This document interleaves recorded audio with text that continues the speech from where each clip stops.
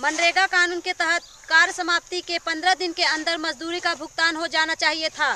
परंतु बड़े अफसोस की बात है भदोही जनपद ज्ञानपुर ब्लॉक के डुहिया गाँव में गेना देवी सहित कुल 15 परिवारों को छह माह से मनरेगा का भुगतान न होने से काफ़ी समस्याओं का सामना करना पड़ रहा है। आपके का परेशानी बा? परेशानी है मैडम जैसे कि हमारे यहाँ खटा तो भाई एक हज़ार रुपया में दूसरे खाते में डालें तो कहा कि जब यहाँ काम करबू तो पैसा मिले। और ये कुल परेशानी दीदी जब काम करे पैसा नहीं मिला था तो नरेगा केस का फ़ायदा कितना दिन काम किए कुल हैं? के अठारह दिन आला कहाँ पे काम किए हैं?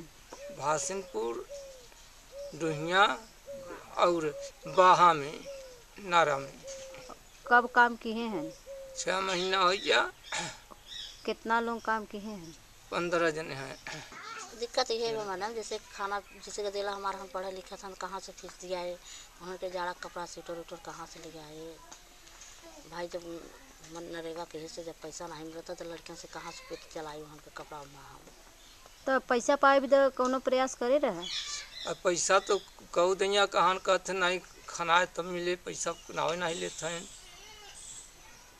मने आप जाते हैं ना घूम के आवत हैं।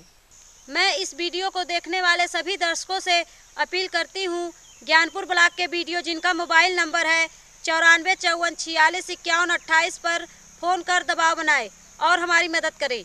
मैं केसा देवी, भदोही जिला से इंडिया अनहड के लिए।